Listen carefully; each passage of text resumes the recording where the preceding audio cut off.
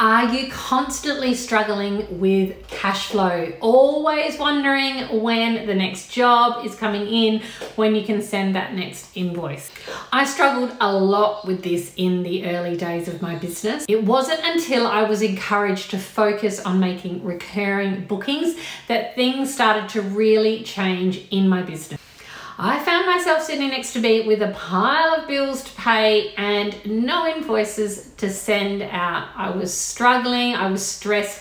I never knew when my next job was coming. I knew something would come in, but I never knew when and I never knew how much work I would actually have. So one of my clients was also my business mentor. So they knew about my business and what it was and they suggested that I try and focus on recurring bookings. I ensure that I know what is coming up next week, next month, and maybe even next year so I can really start planning and I know that that cash flow is going to keep coming in. I can get rid of all those bills and I can feel confident in myself and my business. So today I want to talk to you about how I implemented recurring bookings, some different types of recurring bookings that you might use, and also how you can get started. So when my client told me, Abbie, go back and start mapping out a plan to get some recurring bookings, I really only had one grocery shop, a Friday grocery shop. And amazingly, almost 20 years later, we're still doing that grocery shop. Not me, but we still do that Friday grocery shop. So I only had that booking, but I had other things that I could potentially turn into recurring bookings like dry cleaning, like car servicing, a whole different lot of things that I could start implementing and recommending to my customer. Up until that point, I had just been doing things ad hoc. Clients would email me with an errand to run, with something to research, with a job to do, and I would just go and do it. And especially at the start of my business, I, I mean, I didn't have that much to do. I didn't have heaps of jobs and heaps of clients. So when they emailed me, of course, yep, I'm free, I'll do that. I can do that today. And that was good. But when things start to get busier and you have to worry about cash flow as well as your availability, that's when recurring bookings start to make sense because you can plan, you can plan your time and you can plan your money.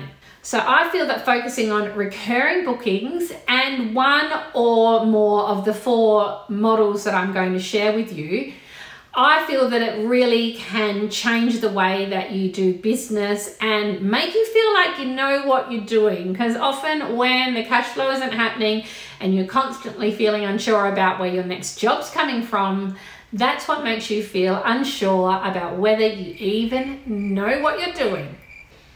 So I'm going to go through four different models of recurring income that I think you should consider.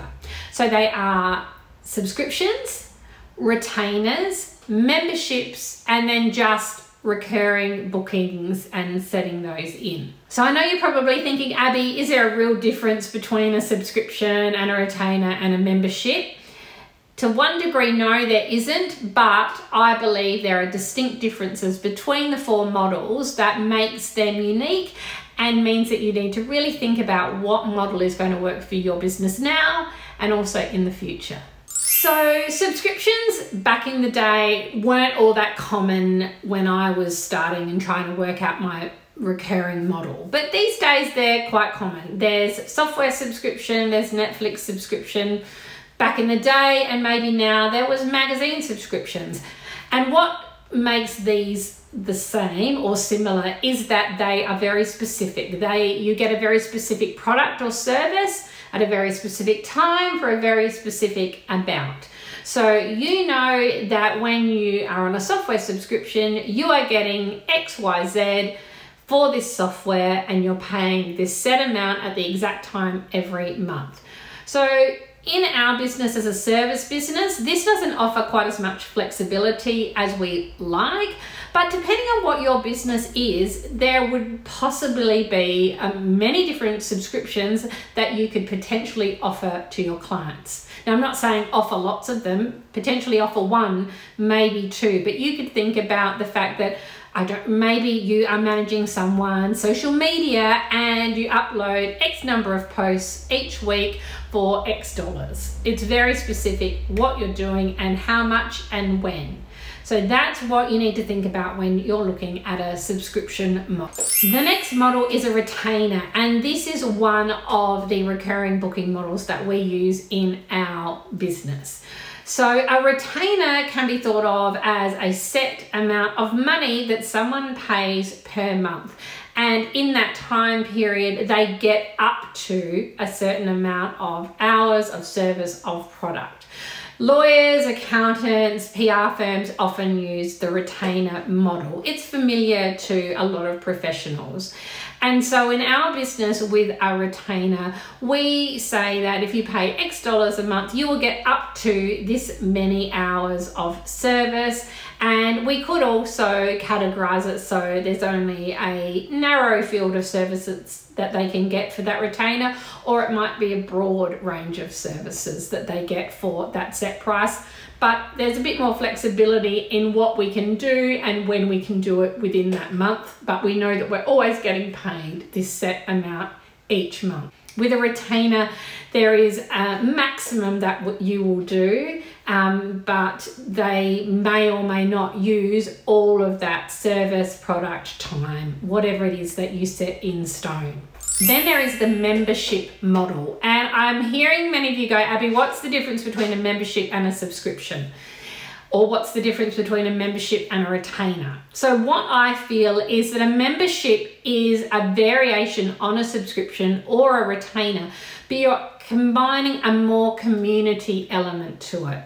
You're combining a community VIP specialist member service to this recurring pricing model. So people might get some special VIP discounts, they might get better access to you personally.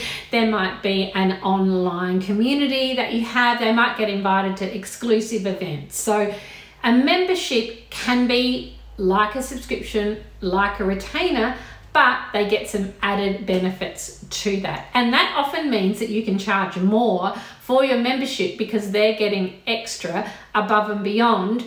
But it also may mean that you don't have to outlay as much time or effort for that extra money that you're charging for the membership model. And then there is just regular booking. So we use this a lot in our business as well. We have clients buy 10, 20 or 50 hour packages and they can use that anytime in 12 months. I do say that they usually always use them well within the 12 months, but it gives them some sort of comfort to know that they can use those hours when they like.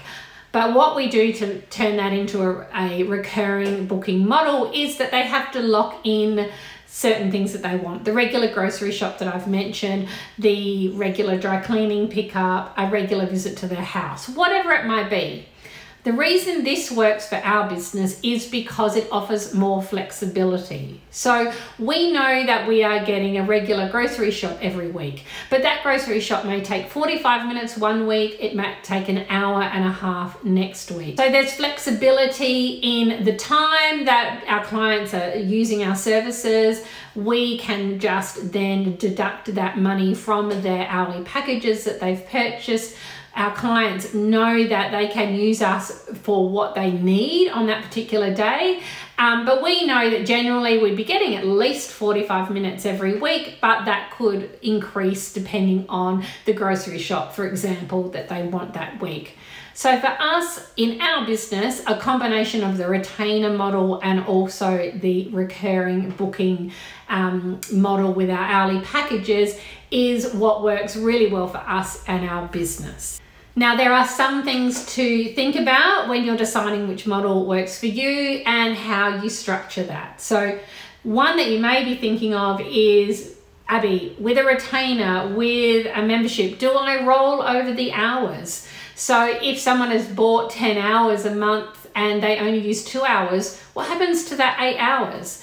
Now, generally for PR firms, for accountants, for lawyers, that's it. If you don't use it, you lose it. And that's a fair enough option that you might choose to offer in your business. For us, we allow the client to roll over the immediate month prior. So they can roll over that eight hours, but if they don't use that particular eight hours, they don't get that in the next month. So it's only the hours from the immediate month prior that can roll over. That way we don't end up at the end of the year, a client has like 50 hours and they want to use all of them the week before Christmas. You know, it gives us some flexibility and some buffer and it means that we know exactly what we are going to be doing for a client and at the most if they have a 10 hour package at the most in one month they'll be using 20 hours if for some reason they used absolutely absolutely no hours the previous month so think about rollover and if that's going to be something you offer. The other thing to think about is what can they expect in terms of your availability. So if they're on a subscription or a membership or whatever it is, can they expect that they will have immediate access to you? Can they pick up the phone and ask you to do an urgent errand for them? Do they have to give you 48 hours notice? Do they have to give you a week's notice? What is your availability like? And one benefit of thinking about this in terms of your membership is it might be that you have different tiers of membership, and the higher, more expensive membership means that they can be almost guaranteed immediate access to you. But if they've got a lower level membership, they need to ensure that they've booked in with you at least you know, a fortnight or month in advance. It could be any of those options, whatever you choose, but that's where that VIP higher level membership option could work really well because people may want to know that they can access you as they like, but really they don't take that up very often. So it could be a way of making a little bit extra money for you and your business. The other question you'll want to answer, and it's once again, it's got to be right for you, is what happens if a client cancels? Do they have to give you a certain amount of notice? Will they get a refund of any sort? Um, how will that carry over to the next week, the next month? How will you handle cancellations and it needs to be simple and clear for the client. And that's why I've given you these things to think about because when you're setting up your recurring model you need to ensure that you're communicating all of this really clearly to your clients so that if something goes wrong or something changes or something out of the ordinary happens how are you going to deal with it? What will be your response to their questions about availability about cancellation etc so when I changed to the recurring booking model, it really changed my business. I felt less stressed. I knew what was happening. I knew what money was coming in. I was on top of the bills for the most part. And I could start planning for the future. I could think about the week, month, and even year in advance because I knew what was coming in. I could plan for if clients decided to cancel, what would that do? What did I need to have in place in my business to have a buffer for that? All of that planning and that, you know, feeling more secure in my business, that all started to flow. So what recurring booking model is right for you? And of course, I'm going to say it's up to you exactly what works for you and what works for your business. What I will say is nothing is set in stone. So you might start with a subscription model and move on to a membership model. You start, might start with the regular booking model and move on to a retainer. You could offer more than one of these options. It needs to work for you. But what I will say is you don't know until you start trying. So don't try and plan and map out everything to the nth degree. What I suggest is start trying one of the models see what works, find out how your customers respond, see how you might evolve or adjust or change. Just start, try it out and see what works. Everyone's business is different, but I do believe that some way you will be able to implement some form of recurring booking, recurring income model into your business to make things flow a lot more for you, be a lot less stressful, and you can start planning for the future. If you'd like to know more about how we set up our pricing model in our business, I suggest that you click this next video where I share behind the scenes what we do in our business with our clients.